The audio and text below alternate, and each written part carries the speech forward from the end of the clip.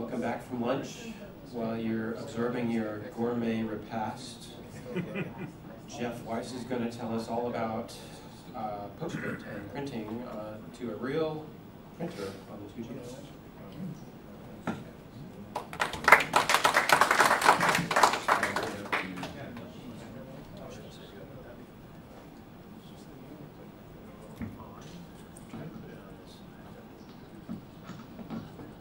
All right, okay.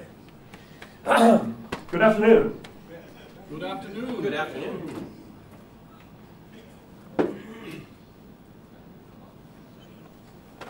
Um, I'm not able to get full screen working, uh, but we'll still be able to still do the slideshow uh, through a window, so there'll be some noise on the screen. Please ignore that. My name is Geoff Weiss. I will be talking about PostScript printing on the Apple IIgs. And we'll be looking at this uh, from printing on a real computer. And I'll also be touching on how to generate P uh, PDF documents using the LaserWriter driver, um, using uh, the results of the LaserWriter driver. So one could effectively be creating PDF documents from the Apple IIgs. So, in the past year, there has been, I saw at least one report of an HP LaserJet Pro 4000 series having issues printing from an Apple II. It turned out that I misread what the initial report was, but I got my hands on a LaserJet 4000 series printer and connected up through AppleTalk Printing. Uh, it does not have serial printing support like some of the early Apple LaserWriter printers. Connected it up. Uh, the computer at the time was running either System 601, 604, doesn't really matter. They're identical um, in terms of uh, the driver. And um, we'll see in a little bit the result that I got. So, um, in order to do AppleTalk printing on HP LaserJets, especially, uh, more specifically, uh, models from the 90s, uh, 2000 time period, you need to have a, uh, a, a printer with an EIO, EIO slot, um, which uh, in the EIO slot you have a card, a JetDirect card. Um, if you get the 600 series card, it will have a local talk port on it, as well as Ethernet. Uh, the Ethernet will support TCP printing, uh, as well as EtherTalk printing. Go back here. Um, in order to connect the printer to the computer, uh, a local talk connection is going to be needed. Um, I'm going to be using PhoneNet, well I have PhoneNet uh, set up right now. Uh, other options is if you just want to do a single uh, direct connection between the printer and the computer, you can use a standard Apple 8-pin DIN uh, serial cable. Uh, it will work um, as, as local talk um, in that situation, as well as Apple had uh, made a bunch of local talk transceivers uh, that can be used to connect uh, computers on a local talk network. Um, those items at the time when they were made were very expensive. Even today, they're very expensive. Uh, PhoneNet was chosen because at the time they were cheap, and today they're still cheap. You can get a PhoneNet uh, transceiver for uh, under for, five dollars or even less. So, looking at PhoneNet, uh, two transceivers are needed. There will be a standard R, um, RJ45, I think. Uh, uh, phone 45? RJ11, RJ11, thank you. Yes, 45 is Ethernet. RJ11 uh, telephone wire, make sure it's four pin wire, connect between bo two boxes. Uh, also, you want to terminate both uh, the, the, two ends, so make sure you have a terminator. It's basically a resistor uh, inside an RJ11 phone connector. Uh, and that's the telephone, that's why it's called phone, for PhoneNet. Uh, then you have the standard 8-pin DIN connector that will connect to the serial port slash local port on your 2GS. So printing, uh, the as I said, the driver uh, from 601 to 604 is identical. Uh, in order to install local talk printing, uh, you go into the uh, installer. Uh, you want to make sure you choose these four items, the System 6 hard disk or FDHD, Fonsol, network printer namer, and printer laser writer. Specifically, if you have a 256 meg uh, 2GS, otherwise known as a ROM1, uh, make sure you remove the easy access from your system setup. Uh, I recommend that because uh, even though that provides more compatible, more look and feel with a ROM 3 hardware, uh, it is there's many pieces of software that's not compatible with the way the easy access was designed for ROM 1. So you'll find some software will break. If you remove it, you'll find the software won't break. So, um, I'll just talk through this, then we'll, we'll go through the demo uh, to, um, so, as, so when you boot the computer up, you want to be able, you, you need to select the printer um, because you just now have a new network, you have a new printer on the network, so it needs to be selected for applications to see. So go to the control panel, open up the NetPrinter control panel. Uh, it'll take a few moments for uh, the, the AppleTalk network to be scanned. It'll find a, uh, a new laser writer, uh, but because this is not an Apple printer, uh, it will uh, display with the appropriate name of the device. And then you'll select a printer, and then you'll be able to print from 2GS applications. Um, I'm going to um, provide a spoiler right now. Uh, when I first did this, uh, it turned out uh, it didn't print. So we're going to go through the process that I followed to troubleshoot, uh, to get the error message, troubleshoot the error message, and what had to be, what had to be done to fix this problem. And after this, we'll be looking at, uh, as an added bonus, uh, how to make a PDF file um, using GhostScript on a, on a modern computer, from the results of the laser driver. Uh, so uh, a 2GS user could uh, result uh, with a PDF document. All right, switch over. So what I have here is System 604. As I mentioned, in order to select the printer, control panels, and we're going, going the blazing speed of an Apple IIgs. Select that printer, open it up, and since this network has, since the printer has been on, the network has been up for a while, the printer will show up uh, immediately. Uh, if you had just boot up the computer and then turn the printer on afterwards, uh, it will take a few moments. So uh, the uh, I do not recall what the actual uh, original name of the printer was. Um, the 2GS does have the support of naming the printer, name it whatever you want. So over in the control panel, you have namer, and uh, Apple provided uh, the ability to rename this printer and it will always show up on the, on the local talk network as the name you gave. So I, uh, I had a couple different printers uh, for testing and seeing what it looked like having multiple printers on a local talk network. And I had to make sure I named each uh, printer individually to make sure I knew which one was, which one was which. So this is a customized name, and this is not what the default name is. So uh, it detected a laser writer, um, or the way to interpret that is it detected a PostScript printer. And all you have to do is select the printer, and that's all you have to do. So um, this is uh, default system 604. And I can prove that. Well, you have to trust me that it is, but it does say system 604. So let's go into, since 604 comes with Teach, uh, this is what it was used for testing, so it's quick and dirty. So let's do a test, and let's go ahead and print.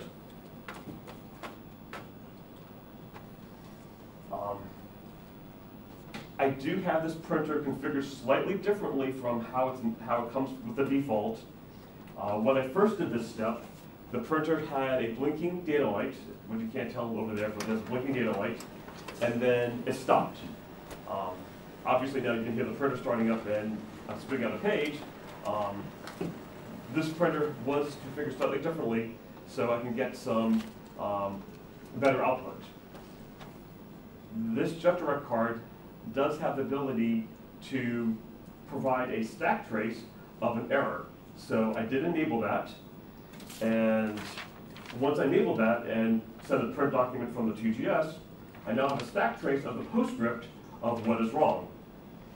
Well, um, now I know now I know at least the 2GS is successfully sending data to the printer, but there's something wrong with the postscript that Apple computers put in the driver to uh, for the printer to understand. So, well, let's test this with some other printers, just to make sure to see if the driver's buggy. Um, had a chance to print it to a um, one of the one of the uh, uh, one of the postscript postscript two model Apple laser writers. I don't remember which one, 360 or something like that, and it prints successfully. Uh, so obviously, that means so this printer is PostScript level two uh, versus the early Apple laser writers, which, which were PostScript level one. When Apple designed this driver, it, they designed it for level one, uh, but because some of some of Apple's level, level two printers work, and one of the changes Apple specifically made in 601 uh, was improved compatibility with level two PostScript. It was in the release notes.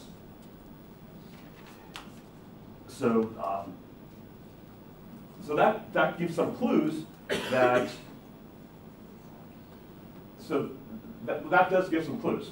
Uh, so seeing this, I'm looking at the output, and I don't know PostScript. Um, I'm familiar with some of the stack-based languages, but not PostScript. So um, what do you do next? Next thing to do is what happens if we try uh, a different laser writer driver. So what I'm going to do is, see, I have it over here, is try System 6.0. Take the laser, laser driver from 6.0, put it in here. And, well, I'll tell you what, I'll do, I'll, to save time, because then they'll have to reboot the computer and have the driver load. If I do that, uh, it will print successfully. Which then that gives a weirder question mark. Why does the non-optimized level two driver work on the level two printer, but the optimized level two driver not work?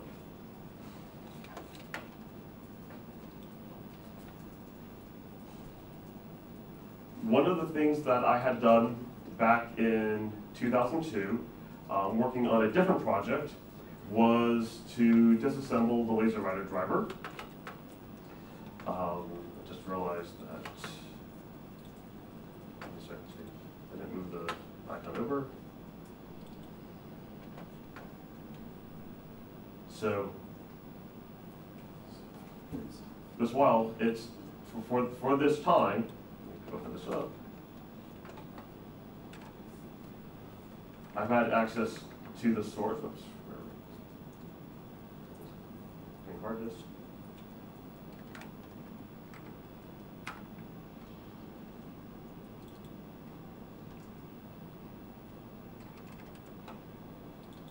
So we load the binary. Then we're going to have to load the template, which I have.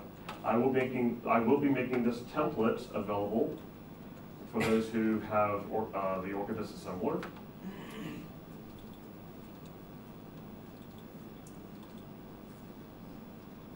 And this is the this uh, template works as I said for the driver from 601 to 604 since it's all the same version. So I through here. Uh, this gives an understanding of how the uh, laser writer driver works. Um, uh, the project that I started on uh, never got finished, but ha do have this uh, initial perspective. Again, no one, no idea what how the PostScript language works. In, in you know, high level, yes, but actual details, no. So, as an Apple II user, if we have something that doesn't work, what do we do? We fix it. right. So um, it took about, it actually took about a month, not, not continuously, but on and off, um, a couple hours here this week, a couple hours that week, uh, sometimes a few more hours, to try to figure out this whole PostScript nonsense, and like, how does this really work? Why is there a bug yet? So, what was, so, let me go back one step. What was the change between System 6.0 and System 6.01? Uh, the change for the level two compatibility, uh, the change, there was, uh, the, the, the change that, uh, I can't remember, there's one or two changes, uh, for that level, for the level, level one, level two, uh, but the change that seemed to be the most obvious, uh, which matched the postscript though, which was the important clue, was the color generation, color slash grayscale. Uh,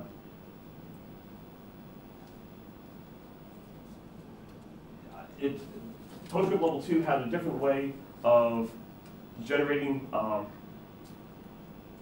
uh, I'm trying to remember the words, uh, a, a, a hash pattern for grays and, uh, didn't, level one doesn't support grayscale, it's only black and white, but to simulate gray, you do some, it has a, uh, a simulated hash pattern, so it does a, a, a pattern, well, halftone, that was the word, thank you, yes. So it was a halftone map. The halftone map code between level one, and level two are incompatible. So, okay, uh, this becomes a clue. So now I'm diving in, using GhostScript to start uh, editing the code, and, and what, what was odd was GhostScript worked with both 6.0, 6.01 uh, drivers. Uh, so if GhostScript works, and I assume, well, it was bizarre that GhostScript worked, GhostScript worked, this printer doesn't, other printers have been known to work. And, all right, start diving into trying to figure out PostScript. Uh, a month later,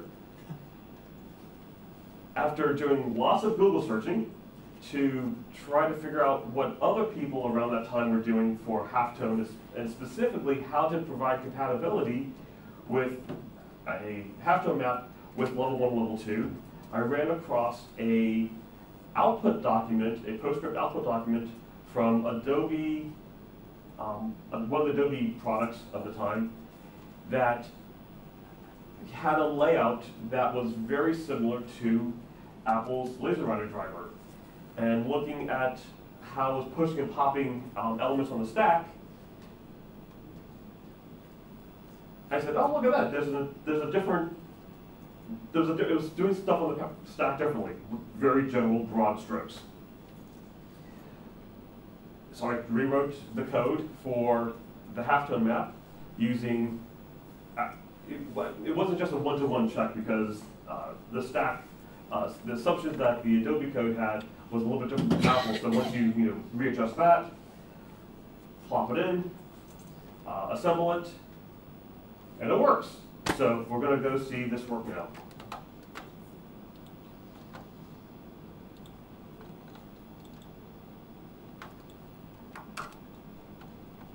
Make sure I got the right one. Now we have to go through the weight of this reboot.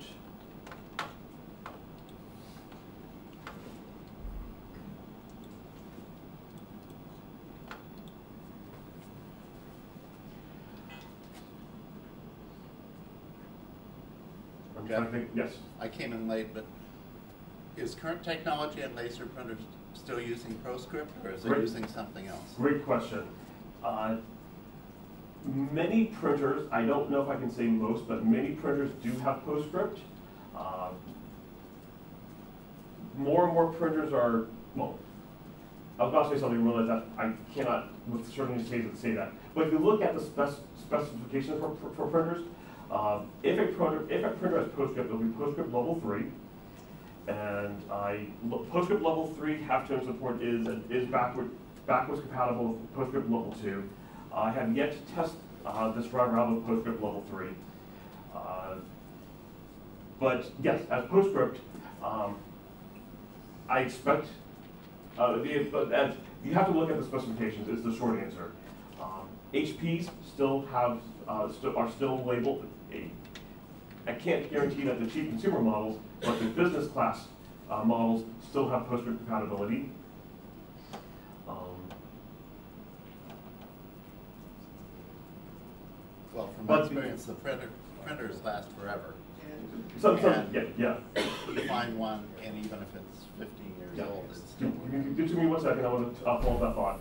Um, but uh, modern day printers won't have local call, local call connectors or the EIO. But yes, Oh, I was just gonna say that in theory you could set up a cup server, like on another computer in your network or something like that. uh, okay. And you then use that as a translator between PostScript and, you know, a newer printer that may not use. And that was NetCap. Oh, no, it's CUPS. Oh, It's CUPS, cup- cup yeah, printer. yeah. Uh, well, CUPS. Uh, the thing with CUPS is you still need a local talk connection Uh. between the 2GS and the printer, and that's the, one of the missing pieces uh, to try to uh, uh, get more modern devices. Uh, but Could you, could you use something like a Dayna Etherprint or something if you pick it up a on? Dayna Etherprint. Yeah, uh, it does local talk to Ethernet. Great question. Uh, I don't have any experience with the local talk to ether talk adapters, or if I'm not using the right term, uh, what the actual term is. Um, I don't know. I'll give you a quick answer. Okay, we have an answer. There are s- several versions of those Etherprint driver boxes. The Dayna Etherprint, there's the, the uh, plastic box ones usually do not work on the 2GS. The metal ones do. And they will convert the network perfectly. You can use, if the printer will take your AppleTalk, your PostScript, it'll print it. And if the ones that don't work, what happens is you get most of the way through the boot section, boot section in GSOS, and you get a really hard, nasty crash. So it's the plastic Dayna talk works. Metal ones. Oh, metal, sorry. Again, And for those who are It listening. continues to impress me to this day that a box plugged into the serial port outside can totally crash the computer. Yes. Yeah. Uh, just regarding printers, the general rule is consumer printers are either so-called win printers that basically just take raw graphical data, or if you're lucky, or if you're getting a little nicer, support PCL. Um, a lot of business printers do support PostScript. Like you were saying, look at the specs, a lot of brands won't actually say PostScript because they didn't license it from Adobe, they did their own thing. For example, Brother uses BR-Script, but that's PostScript. Yeah. So yes, the, uh, the summary is look, look at the specs. Um, there may be some alternatives to the new PostScript on some printers. Um, so Google, double check. Uh, PCL is not PostScript. Uh, some print, a lot of the printers have a have PostScript emulation under PCL, but that usually doesn't cause a problem. Usually is the key word here. All right, so I rebooted, got the driver loaded, and I'm gonna make sure I have the printer detected. To go through this step.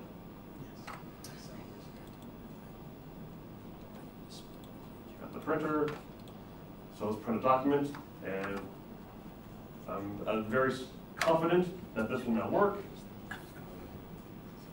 Except for the demo guys, of course.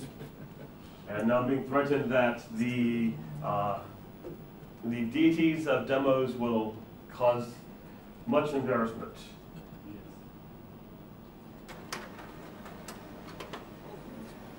As the page comes out of the printer.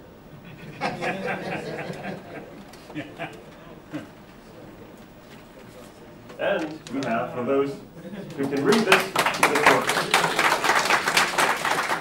So I will be making this beta driver available on the KansasFest website. I'm going to be making the disassembler uh, template available for those who want to take a look at um, how the laser, laser writer printer driver works internally.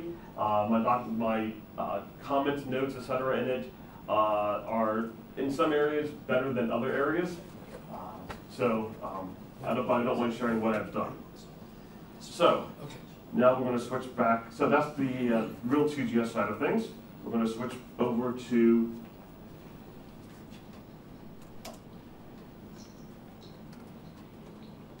to a uh, an emulator.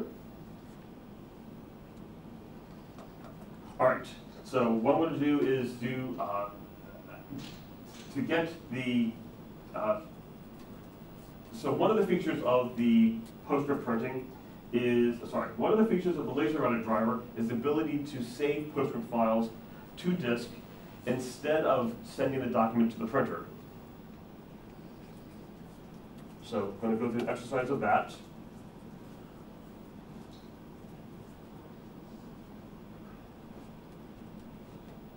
I'm going to load a document here.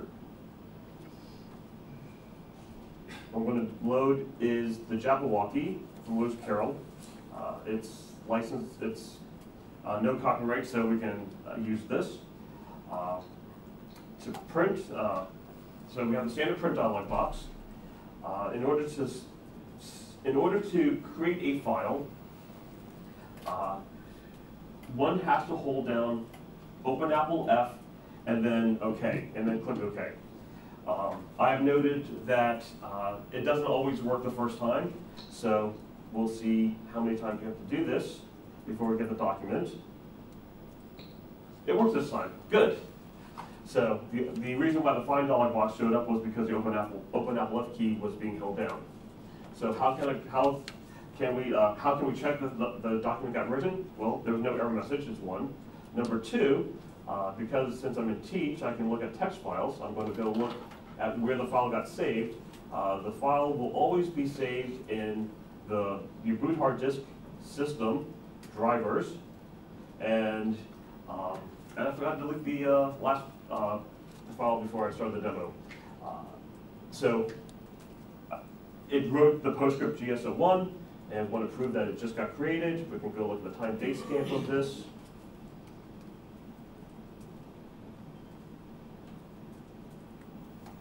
And it was done 2:40 p.m., so we know that it was done uh, just a moment ago.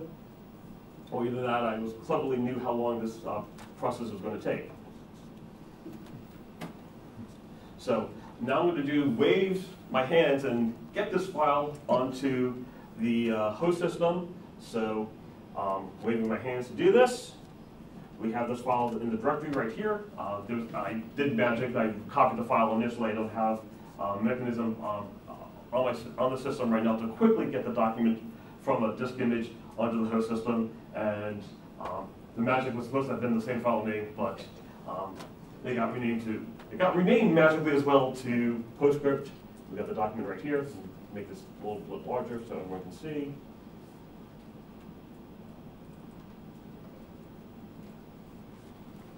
Uh, that's not work. You have to trust me that this is PostScript GS00. All right. So the next step is uh, to, to convert the file to uh, convert the file to, to a PDF. Uh, the GhostScript comes with a command called PS, the number two PDF, PS2 PDF.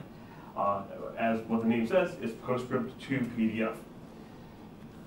The this command does check the file name to make sure it has a file name extension of .ps.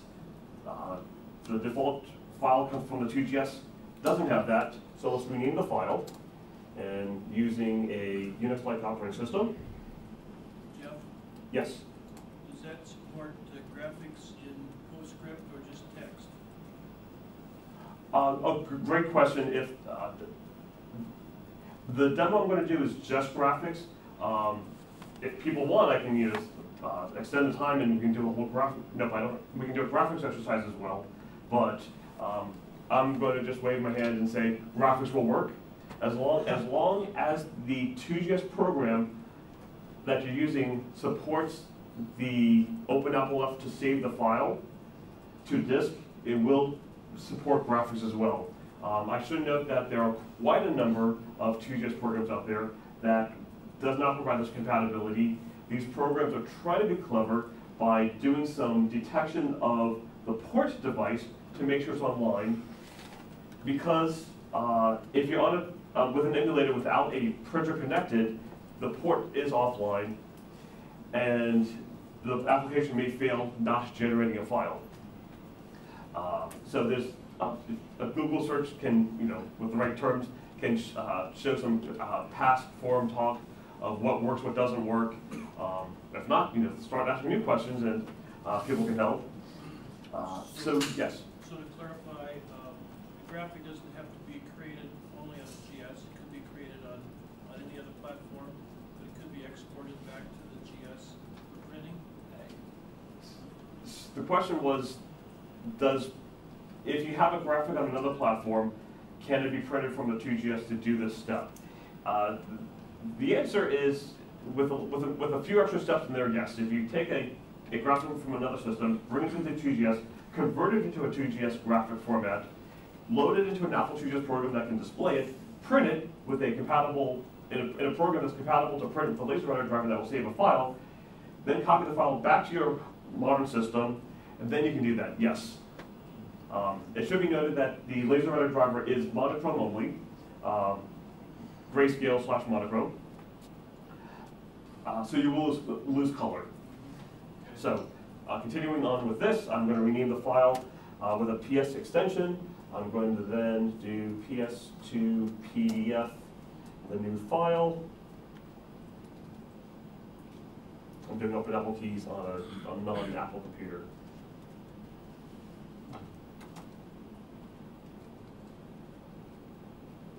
You switch operating systems. All right, so I uh, converted the file. Now I'm, I'm going to use GhostScript to view this. I'm cheating by using the command line because it's faster. And the command is GS. And there we have a documented, coming from a 2GS. Oh, that, that's the GhostScript version of it. I need to prove that we have the uh, PDF version of it.